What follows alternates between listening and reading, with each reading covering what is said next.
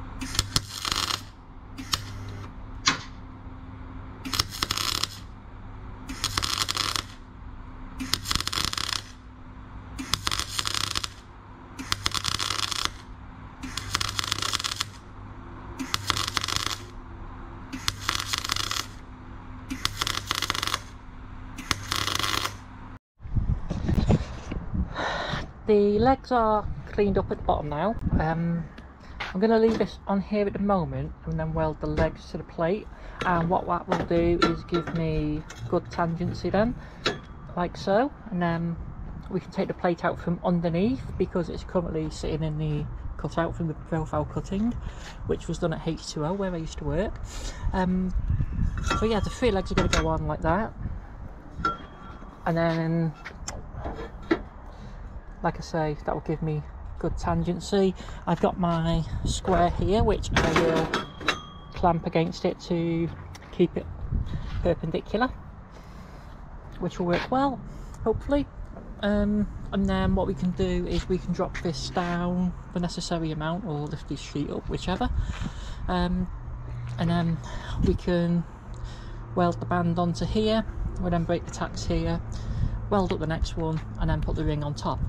So hopefully that will keep it running pretty true and accurate but yeah the, uh, the band has come out really really well really pleased with that so far. So yeah let's get going on the next little bit then. So I just need to centralize it up here now which is nice and easy to do. And it's only got to be by eye so it's not overly critical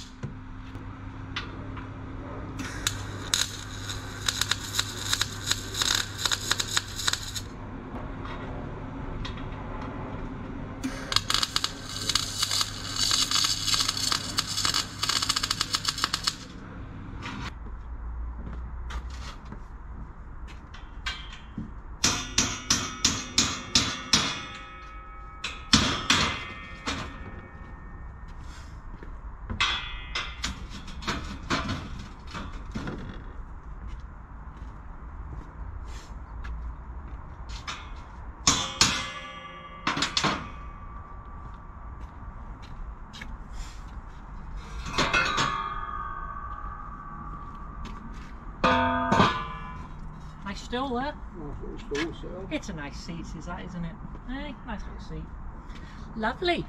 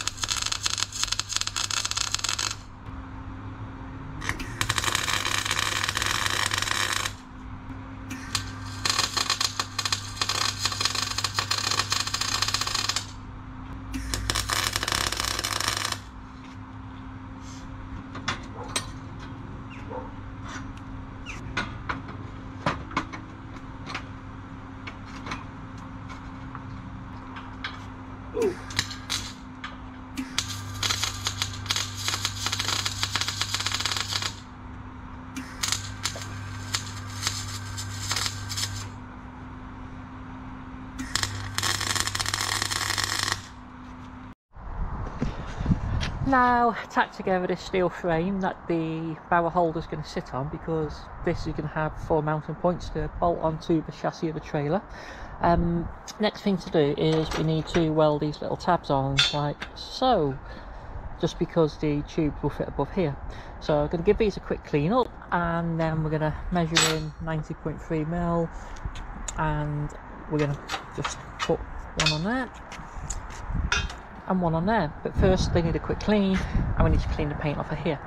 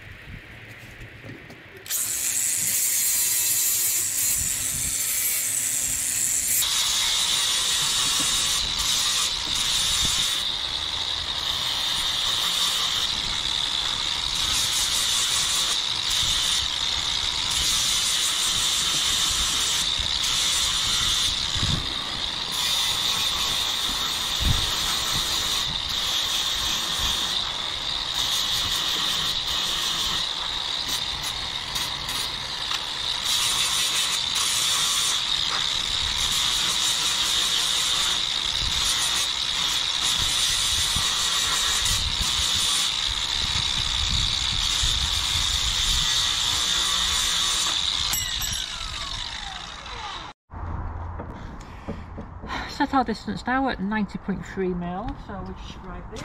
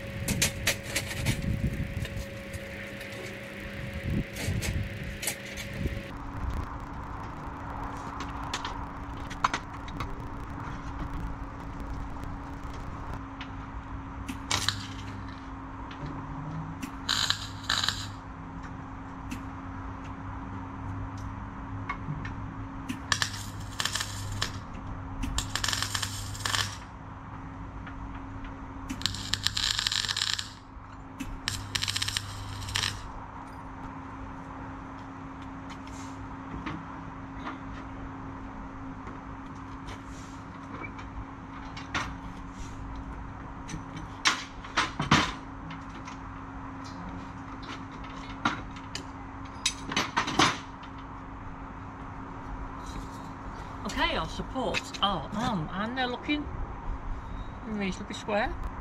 Happy with that.